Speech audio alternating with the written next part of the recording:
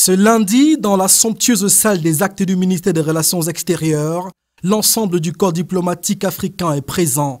Une mobilisation qui sonne comme une invite à partager la grande annonce du jour, la candidature de Hamad Kalkaba Malboum à la présidence de l'ACNOA.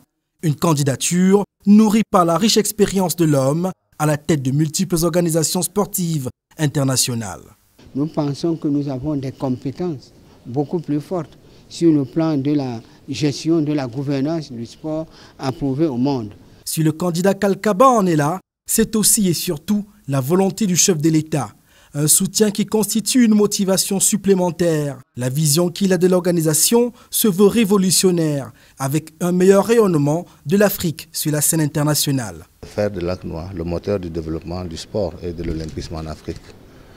Euh, je suis dans la scène du sport depuis plus de 40 ans. J'ai appris beaucoup de choses, j'ai aussi observé le sport et je pense que je peux mettre utilement mon expérience à la disposition de l'Afrique dans ces secteurs précis. L'Union africaine, dans sa posture fédératrice des États membres, s'est déjà faite une petite idée sur le candidat Kalkaba. Nous avons eu déjà à faire le tour de cette question avec Madame la Présidente, Madame Nkosazana, la ministre Zuma.